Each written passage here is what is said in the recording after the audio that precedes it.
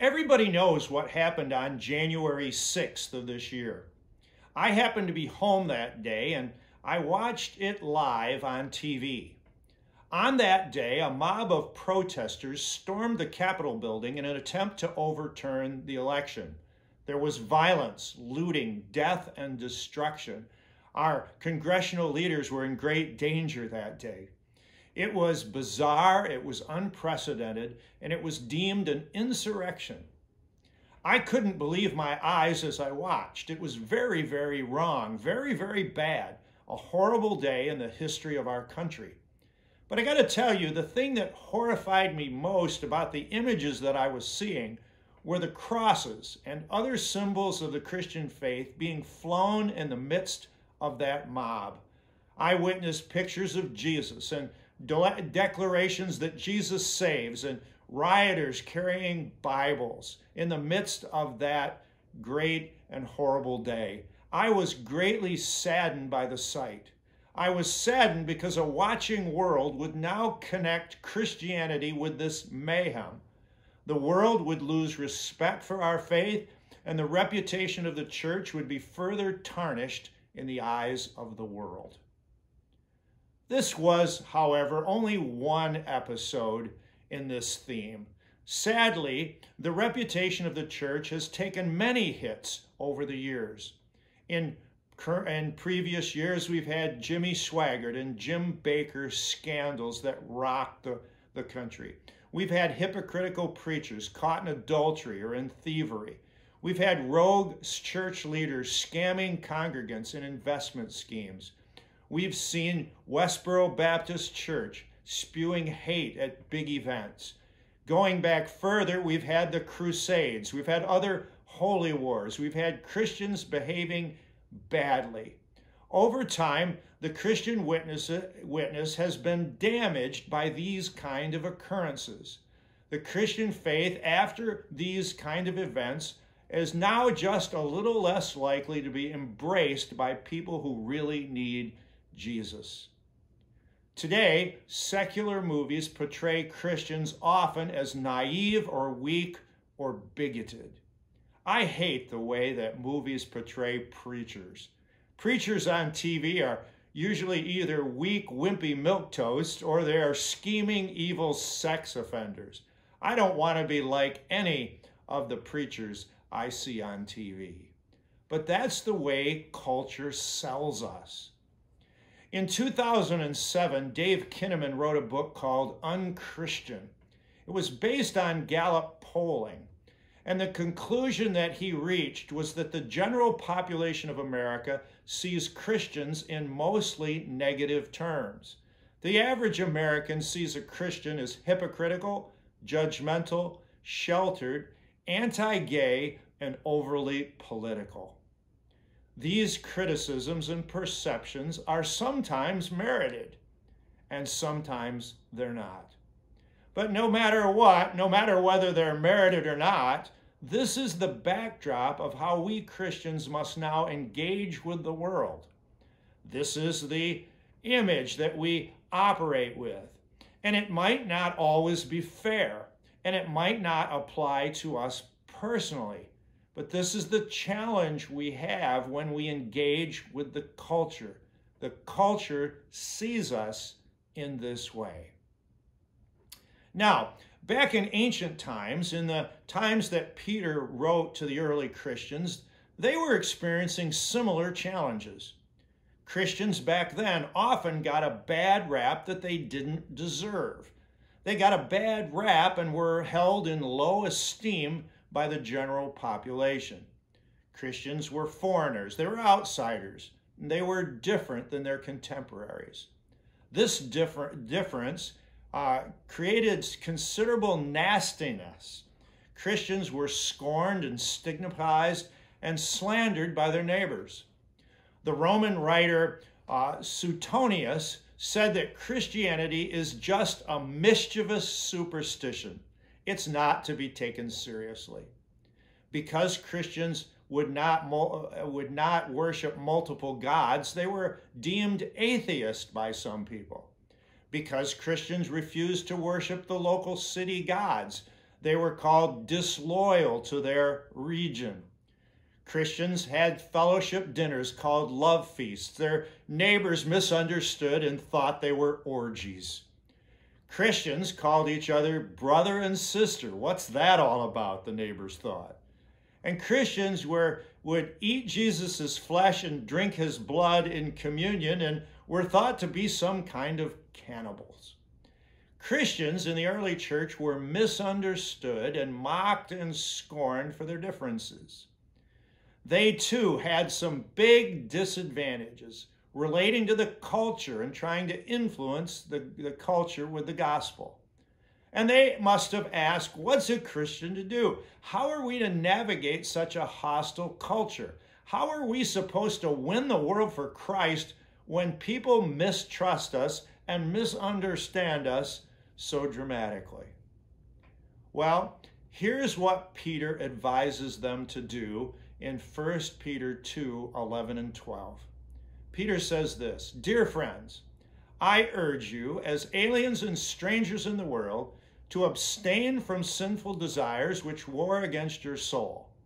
Live such good lives among the pagans that though they accuse you of doing wrong, they may see your good deeds and glorify God on the day he visits us. What Peter was saying is that the world might not understand you, the world might not like you. The world may completely misrepresent you, and you can't control that. But here's what you can control. He says, live an awesome life. Live a holy life. Live a pure and loving and spotless life. Live a life that shines bright in the darkness. Let them see that life. Let them see your good deeds. Peter wants us to live shockingly compassionate lives. He wants us to live radically selfless lives. He wants us to live amazingly humble lives. He's saying, get their attention by living lives like no one else, better than no one else. They will then see your never ending good deeds, and it will take their breath away. They will see it and be awed by it. Now, Jesus said something very similar in Matthew 5 16. The words of Jesus In the same way, let your light shine before men, that they may see your good deeds and praise your Father in heaven. Again, Jesus is saying, just like Peter, do lots of good deeds. Be a person known by your good deeds. Let the world see your good deeds. Paul said a similar thing in Colossians chapter 4, verse 5. He says, Be wise in the way you act toward outsiders. Make the most of every opportunity. Friends, the eyes of the world are on you. The people you meet are daily sizing you up as a Christian. Every move you make, every step you take, they're watching you. So let them see you as a person of glorious good deeds. Paul again said a similar thing in 1 Thessalonians 4 11 to 12. He said, Make it your ambition to lead a quiet life to mind your own business and to work with your hands, just as we told you, so that your daily life might win the respect of outsiders, and so that you will not be dependent on anybody. Friends, you can't influence the world for Jesus if the world doesn't respect you. And the quality of your character can earn that respect. So let them see your good deeds. Finally, in Timothy, 1 Timothy 3 7, Paul spells out the qualifications for leaders in the church. Essentially, he's saying if, if you want to be on the leadership team, if you want to be hired on the staff, if you want to head up a ministry or lead a small group, you must have a good reputation with outsiders. So that you will not fall into disgrace and into the devil's trap. Friends, our behavior, the way we treat each other, the integrity of our lives, and the love we display to everyone will always be the key to gaining respect and engaging the world around us in positive ways. It's our good deeds that will get their attention. Let me illustrate that with something that happened just a couple weeks ago. On Super Bowl Sunday, I was home watching the game. It was a terrible game, a boring game. By the third quarter, you knew who was going to win. There wasn't much drama or excitement. At our house, it was late in the third quarter. There wasn't much drama. Um, it, the score was going to be pretty predictable. I was sitting there listening to all the Brady love, and I was losing interest in the biggest game of the year. But then something happened that caught my attention. A fan ran out on the field. He raced by all the players and he started heading for the end zone. He started at the 50 yard line and the guards were chasing him. He faked one of them out. He broke a tackle and he was headed for the end zone. He got to the 40, to the 30, to the 20, the 10, and finally a security guard tackled him on the one yard line. He never did score.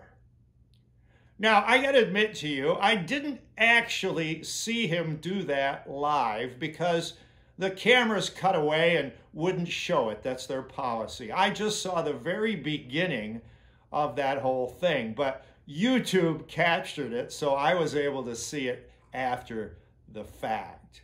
I just had to watch what happened. Here's my point today. In the middle of a boring game, this woke me up and got my attention. Now, I don't know who this guy was. Um, I mean, my brother lives in Tampa, and I don't think it was him. Um, it was obviously some fool who's probably banned from football for the rest of his life. He looked like an idiot, but he got my attention. He did something different. Peter was saying, if you want to get the world's attention, if you want to grab their attention, live a life full of love and care and good deeds. He says, you need to shock them with the different life, the good life you're living. Turn the other cheek. Love your enemies. Pray for your persecutors. Stand up for the downtrodden. Care for the poor. Love your neighbors as you love yourself. Be humble. Take care of the needs of others. Be kind. Be caring. Be generous. Be interested. Be encouraging. Be a listener. Be a helper. Live and love like no one else lives and loves. Peter would say, be shockingly helpful, be radically kind, be surprisingly humble. Live the kind of life that people notice, that they sit up and take note. Live the kind of life that people are impressed with so that people will want to know where did that come from and what does that guy have and how can I find that kind of a life?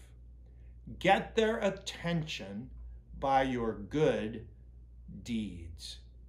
I want to ask you today what would it look like in your life if you were the kindest person in your office? If you were the most encouraging person in your whole school? If you were the most loving neighbor on your block? How many lives could you change if that were the case? How many conversations would that generate? How many misconceptions of Christianity could you break down by living that kind of life? You don't need to be brilliant. You don't need to be gifted. You don't need to be especially brave.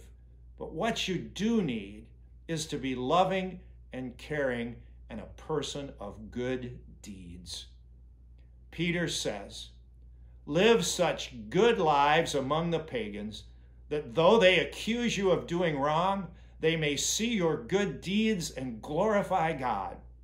And if Peter's not good enough, Jesus himself says the same thing. Let your light shine before men, that they may see your good deeds and praise your Father in heaven. Okay, we made our point today. Now, what are we going to do with it? How are we going to get started? I made some suggestions to the kids today in the children's sermon. So maybe now we need some adult suggestions. There are lots of lists on the internet. Let me give you a sample of some suggestions that you could find. Here are some ways to show love to your neighbors. Cook an extra casserole, give it to a neighbor. Invite your neighbors to dinner. Give small Christmas gifts to your neighbors. Be the person in the office that always listens and always asks questions. Buy an extra dozen donuts, give them to your neighbor. Check on an elderly person in your neighborhood, find out how they're doing. If you have a skill, let your neighbors know that you they can that you'll help them and use it to help them out. Start a neighborhood Facebook group and engage with your neighbors in an ongoing way. Offer to babysit your neighbor's kids so they can have a date night out. Pray for your neighbors on a regular basis. We're just getting started, friends. This is obviously just a starter list. You could Google search ways to love your neighbor, ways to be missional, good deed ideas, you could come up with hundreds of ideas that would fit you. But you know what? You don't need hundreds of ideas. You just need one or two ideas that you actually do. So just do something. Remember, it's not good ideas that Peter suggests, it's good deeds that we actually accomplish. Pondering an idea is not a good idea. You've got to do it. Okay, I want to conclude with an experience I had a few years ago when I lived in Kentucky.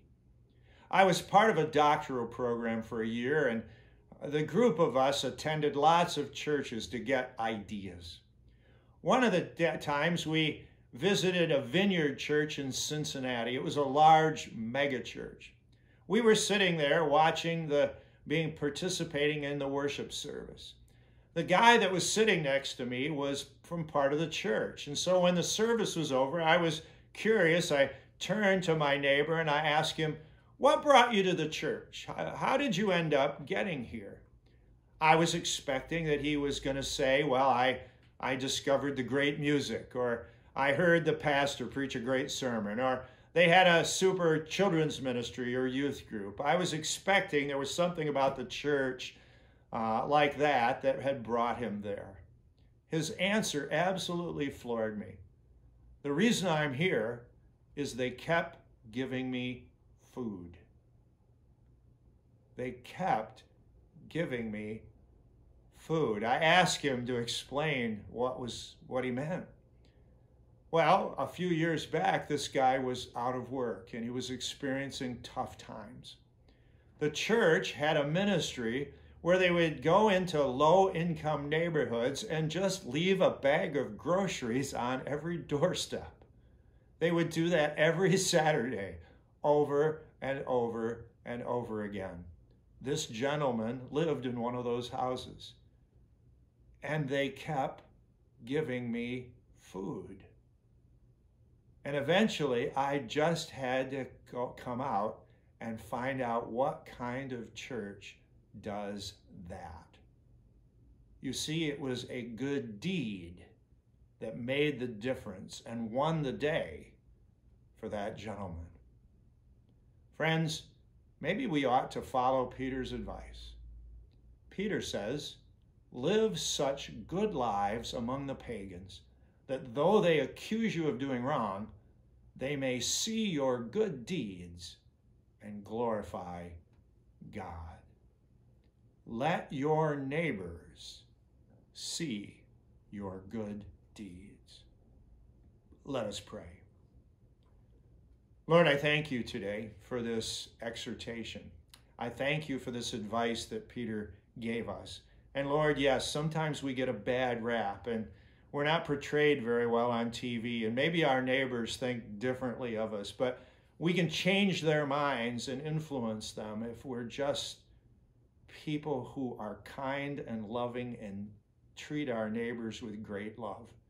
Help us to do that. Help us to break out of our shell. Help us to come up with one or two ideas out of many ideas that we could choose to influence those around us.